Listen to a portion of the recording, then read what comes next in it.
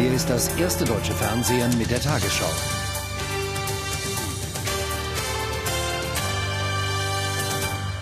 Guten Abend, meine Damen und Herren. Die Europäische Union richtet sich für die Zukunft neu aus. Die Staats- und Regierungschefs unterzeichneten in Lissabon den EU-Reformvertrag. Er soll die erweiterte EU handlungsfähiger machen.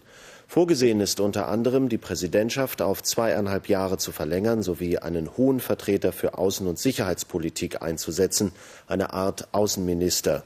Die EU-Kommission soll kleiner werden. Die Posten rotieren dann unter den Mitgliedstaaten. Schrittweise ist eine neue Stimmengewichtung im Rat geplant, die auch die Bevölkerungszahl der Mitgliedsländer berücksichtigt.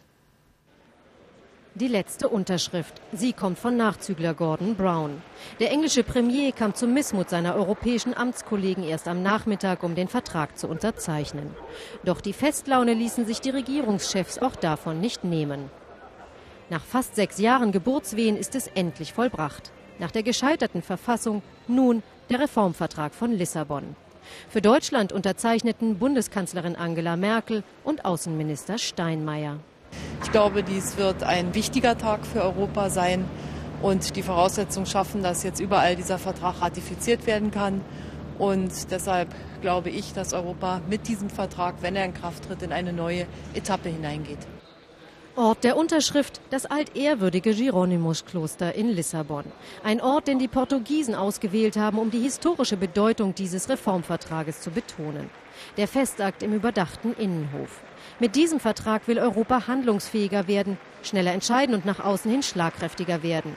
Eigens hervorgehoben wurden die Verdienste Deutschlands und seiner Bundeskanzlerin. Sie habe wesentliche Vorarbeiten dafür geleistet, dass diese Unterschriften heute möglich wurden. Um zu diesem Ergebnis zu kommen, mussten alle Regierungen politischen Mut beweisen. Ich bitte Sie nun auch um die gleiche Entschlossenheit, wenn es um die Ratifizierung geht. Denn bis 2009 muss der Vertrag nun von allen nationalen Parlamenten oder wie in Irland per Volksabstimmung bestätigt werden. Als größter Wackelkandidat gilt dabei das traditionell europaskeptische Großbritannien. Doch darüber wollte sich heute niemand den Kopf hier in Lissabon zerbrechen. Man zeigte sich optimistisch, es wird schon klappen. Und dann tritt der Vertrag im Januar 2009 in Kraft. Ein Zusammenbruch der angeschlagenen Sachsen-LB ist abgewendet. Die Landesbank Baden-Württemberg wird ihre ostdeutsche Schwester wie geplant übernehmen. Vergangene Nacht wurde das Rettungspaket für das Institut geschnürt, das sich auf dem US-Immobilienmarkt verspekuliert hatte. Der Kern der Vereinbarung Sachsen sichert Risiken im Umfang von 2,75 Milliarden Euro ab. Alle Fraktionen in Dresden sprechen von einer großen Belastung für das Land. Ministerpräsident Milbrat lehnt Rücktrittsforderungen ab. Ein bisschen erleichtert schien er schon, Sachsens Ministerpräsident Georg Milbrat, als er das Ergebnis der nächtlichen Verhandlungen im Dresdner Landtag präsentierte. Die Pleite der Sächsischen Landesbank konnte abgewendet werden. Und es bleibt beim angestrebten Zusammenschluss mit der Landesbank Baden-Württemberg. Aber der Freistaat muss für eine milliardenschwere Ausfallbürgschaft einstehen. Ich will deutlich sagen, dass die Ergebnisse bitter sind. Aber die Frage der Bewertung dieses Ergebnisses und der Verhandlungen, und nur darum geht es heute, haben zu berücksichtigen, aus welcher Position man verhandelt hat. Die Sachsen haben 43 Milliarden Euro auf dem US-Hypothekenmarkt investiert. Ein Teil der Wertpapiere wird ausgegliedert und mit Bürgschaften abgesichert. Insgesamt geht es um 17,5 Milliarden Euro. Sachsen bürgt für 2,75 Milliarden und muss im Ernstfall zuerst einspringen. Die Landesbank Baden-Württemberg sichert die nächsten 6 Milliarden ab. Reicht das nicht aus, sollen andere Landesbanken die Restsumme von 8,75 Milliarden abdecken. Auch in Baden-Württemberg scheint man mit dem Ergebnis zufrieden. Ich bin sicher, dass wir bei der Verwaltung dieser Fonds und in der Entwicklung des Marktes der nächsten Jahre die Risiken nicht benötigen. Die Opposition, zumindest Linkspartei und Grüne, wertet die milliardenschwere Rettung der Bank nicht als Erfolg und fordert Konsequenzen. Georg Milbrat darf dieses Land keinen Tag länger regieren. Im Moment denkt Georg Milbrat nicht an Rücktritt. Die Staatsregierung hat Wirtschaftsprüfer eingesetzt, die klären sollen, wer für den Bankenskandal in Sachsen verantwortlich ist. Erst dann will der sächsische Ministerpräsident über politische Verantwortung und Konsequenzen entscheiden. Die EU-Kommission will die Bürgschaft für die Sachsen-LB eingehend prüfen. Es müsse geklärt werden, ob es sich um eine unzulässige Beihilfe handele, so ein Sprecher in Brüssel. Die Kommission wacht darüber, dass staatliche Subventionen den Wettbewerb nicht verfälschen. Wer einen Verkehrsunfall im europäischen Ausland hat, darf eine gegnerische Versicherung an seinem Wohnort verklagen. Er muss dies nicht im Ausland tun. Das hat der Europäische Gerichtshof in Luxemburg entschieden. Die Richter stärkten damit die Rechte von Unfallopfern. Der konkrete Fall war in Deutschland durch die Instanzen gegangen und schließlich an den EuGH verwiesen worden. Es ging um eine Frage, die viele Autofahrer angeht, nämlich wo kann man als Verkehrsteilnehmer klagen, wenn man im europäischen Ausland in einen Unfall verwickelt wird. Die Richter am Europäischen Gerichtshof in Luxemburg kamen zu einem klaren Urteil. Das europäische Recht zielt bei Versicherungsstreitigkeiten auf den Schutz des Schwächeren ab und das heißt konkret, dass man als Geschädigter am eigenen Wohnort gegen die ausländische Versicherung klagen kann. Man muss also nicht ins Ausland, um seine Rechte geltend zu machen. Das gilt allerdings nur dann, wenn die ausländische Versicherung ihren Sitz in Europa hat. Ein in Aachen lebender Autofahrer hatte die niederländische Versicherung seines Unfallgegners in Aachen verklagen wollen. Die dortigen Richter sahen sich dafür nicht zuständig, verwiesen auf die nächsthöheren Instanzen. Beim Bundesgerichtshof leitete man die Klage nach Luxemburg weiter. Begründung, es handelt sich um einen Fall von allgemeiner und grundsätzlicher Bedeutung. Wir freuen uns natürlich sehr über diese Entscheidung, mein Mandant und ich, dass er jetzt endgültig äh, Recht bekommen hat. Für uns im Grenzgebiet bedeutet das, dass Verkehrsunfälle, die hier im benachbarten Ausland passieren ähm, und in denen die Versicherungen nicht oder spät zahlen, dass man dann im Inland, also hier beim zuständigen Gericht, klagen kann. Der Richterspruch gilt nur, wenn man gegen eine ausländische Kfz-Versicherung klagt. Bei anderen Schäden, die man im Ausland erleidet, etwa im Urlaub, gilt das Urteil nicht. Der Bundestag setzt sich für einen effektiveren Schutz von Kindern ein. Als Reaktion auf die jüngsten Fälle von Gewalt und Vernachlässigung wurde heute ein entsprechendes Programm verabschiedet mit den Stimmen von Union und SPD. Gefordert werden unter anderem mehr Vorsorgeuntersuchungen. Streit gibt es aber darüber, ob die Rechte von Kindern im Grundgesetz verankert werden sollen. Die Familienministerin kam zur Bundestagsdebatte, das Wort ergreifen wollte sie aber nicht. So hörte sie sich die Argumente derer an, die den Schutz der Kinder ins Grundgesetz aufnehmen wollen. Es kann doch nicht angehen, dass unsere Verfassung die berechtigten Interessen der Tiere schützt und wir in diesem Hause immer noch darüber diskutieren, ob Kinderrechte in die Verfassung gehören. Die Aufnahme der Kinderrechte würde Signale setzen.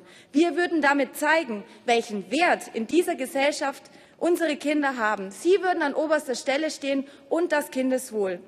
Allein die Unionsfraktion ist davon noch nicht überzeugt. Wichtiger als im Grundgesetz einen neuen Artikel zu verankern sei es, Vorsorgeuntersuchungen verpflichtend zu machen, die Jugendämter gut auszustatten und die Eltern bei der Erziehung ihrer Kinder zu unterstützen. Die Erfahrung zeigt leider, dass die Eltern, die uns in der Vergangenheit mit ihrem Verhalten besonders erschüttert haben, den Blick ins Grundgesetz nicht getan haben. Die Justizministerin aber macht klar, sie will den Schutz der Kinder im Grundgesetz.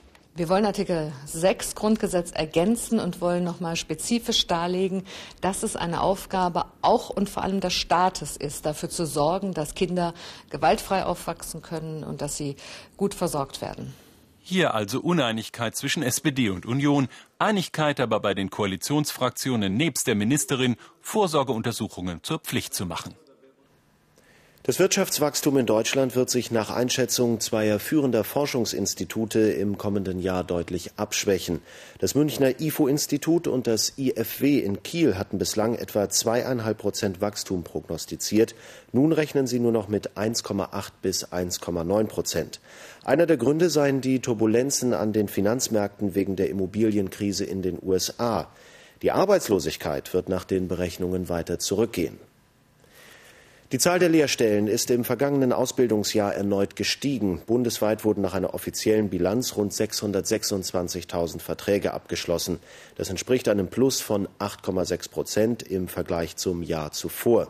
Kritik kam von der IG Metall. Die zusätzlichen Stellen seien nahezu vollständig im außerbetrieblichen Bereich geschaffen worden. Bei der Bahn soll es bis Weihnachten vorerst keine Streiks geben. Das bekräftigte die Lokführergewerkschaft GDL nach einem Spitzentreffen mit der Unternehmensführung und den beiden anderen Bahngewerkschaften Transnet und GdBA. Dabei wurde über ein neues Tarifwerk gesprochen, in dem der GDL ein eigener Vertragsteil für Lokführer zugestanden werden soll. In der Schweiz ist das bisherige Konsensmodell bei der Regierungsbildung aus den Fugen geraten. Der Rechtspopulist Blocher, Kandidat der Schweizer Volkspartei SVP, will in die Opposition gehen. Der Grund, er wurde von den anderen Parteien nicht wieder in die Regierung gewählt. Stattdessen stimmten sie für die als liberal geltende SVP-Politikerin Wiedmer Schlumpf. Traditionell verständigten sich in der, verständigen sich in der Schweiz die großen Parteien auf eine gemeinsame Regierung. In der Schweiz wurde heute eine neue Ära eingeläutet. Die Zeit der Allparteienregierungen ist vorbei. Dieser Amtseid markierte das Ende. Eveline Wittmer-Schlumpf von der Schweizer Volkspartei SVP hat die Wahl zur Justizministerin angenommen und sich damit gegen den Willen der eigenen Partei gestellt. Denn ihr Ja bedeutet die Abwahl von Christoph Blocher, dem Mann, der in der SVP die Richtung vorgibt. Meine Damen und Herren, so scheide ich hier aus dieser Regierung, aber nicht aus der Politik. Christoph Blocher und seine SVP sind gegen EU-Beitritt, Sozialmissbrauch und schwarze Schafe. So nennt die SVP kriminelle Ausländer. Bei den Wahlen wurde sie damit stärkste Partei, doch ihre neue Ministerin will die SVP jetzt nicht unterstützen. Die Regierungsbeteiligung verschmähte sie heute und entschied sich für die Opposition. Regieren wird schwer. So lassen Sie uns doch einander stets mit Respekt und Toleranz begegnen. Das ist, davon bin ich überzeugt, die Grundlage für gute, tragfähige politische Entscheidungen in diesem Land. Christoph Blocher ist nicht mehr Regierungsmitglied. Eigentlich sei das eine Befreiung, sagt der umstrittenste Schweizer Politiker. Jetzt könne er endlich wieder sagen, was er wirklich denke. Der amerikanische Musiker Ike Turner ist tot. Er starb gestern im Alter von 76 Jahren in Kalifornien. Turner gilt als Wegbereiter des Rock'n'Roll. Gemeinsam mit seiner Ehefrau Tina Turner feierte er große Erfolge in den 60ern und Anfang der 70er Jahre. Die beiden ließen sich 1978 scheiden. Wegen Drogenbesitzes musste Turner später ins Gefängnis. Danach gelang ihm ein Comeback. Gekrönt wurde es in diesem Jahr durch einen Grammy. Und nun die Wettervorhersage für morgen Freitag, den 14. Dezember. Der Osten Deutschlands liegt morgen noch im wolkigen Einflussbereich der Tiefdruckzone über Osteuropa. Darin eingelagert befindet sich ein Höhentief, das uns kalte Luft bringt. Auch das Hoch im Westen trägt zur Kälte bei, zumindest dort, wo es aufklart, da es ohne schützende Wolkendecke noch schneller auskühlt. Heute Nacht bleibt es weitgehend trocken. Im Osten könnten vereinzelt ein paar Flocken fallen. Hier und da zeigen sich die Sterne. In vielen Regionen bleibt es aber bei dichter, hochnebelartiger Bewölkung. Örtlich bildet sich auch Nebel. In der Osthälfte morgen meist stark bewölkt. Gelegentlich fallen ein paar Tropfen oder Flocken. Richtung Westen freundlicher. Der Wind weht schwach bis mäßig aus Nord bis Ost. Heute Nacht am Alpenrand minus 5, an der Ostsee plus 3 Grad. In Bayern morgen örtlich leichter Frost, am Main bis plus 5 Grad. Am Samstag im Südosten noch etwas Schnee, sonst eine Mischung aus Hochnebel und Sonne, wobei die sich am ehesten im Norden und Westen zeigen kann. Sonntag und Montag trockenes Hochdruckwetter, dabei mal neblig trüb, mal sonnig, in der Mitte und im Süden auch tagsüber teilweise leichter Dauerfrost. Wir melden uns wieder mit den Tagesthemen heute um 22.15 Uhr mit Tom Buro.